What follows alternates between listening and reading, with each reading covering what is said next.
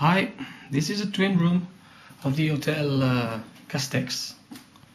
You see two single beds. You have a mirror as well, a long one, tall. This is one of the wardrobes.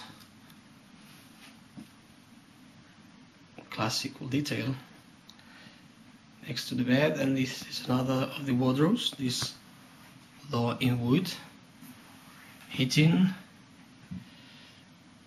window with views to the courtyard, of the hotel, TV set, and this is a desk with a light, lamp, with a chair, a classical one as well. And this is another view from the other side of the room, and you're gonna see now. You're gonna see the bathroom. So it's very small but you got all you need with the toilet, sink, and shower. As you can see, you head to the towels are included and hair dryer.